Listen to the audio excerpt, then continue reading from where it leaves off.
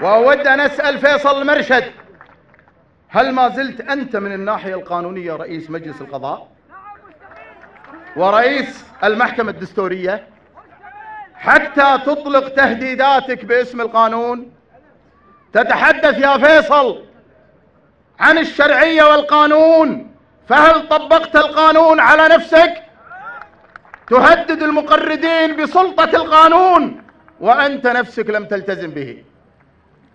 ألم تتقدم باستقالتك في شهر سبتمبر 2012 ألم تعلن عن تلك الاستقالة ألم يتم تثبيتها في محضر اجتماع مجلس القضاء؟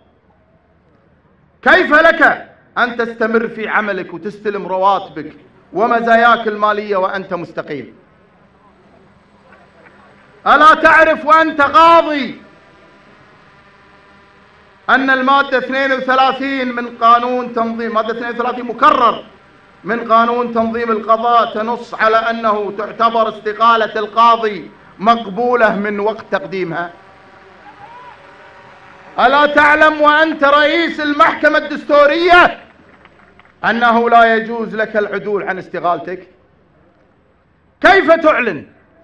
كيف تعلن؟ كيف تعلن؟ وأنت رئيس مجلس القضاء وأنت رئيس محكمة التمييز وأنت رئيس المحكمة الدستورية. كيف تعلن أنك عدلت عن استقالتك استجابة لرقمة أمير البلاد؟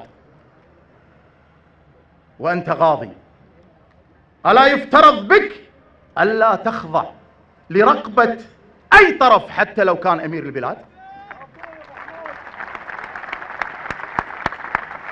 هل يعقل أن يقول رئيس المحكمة الدستورية أنه ما يقدر إلا أن ينصاع إلى طلبات ورقبات صاحب السمو؟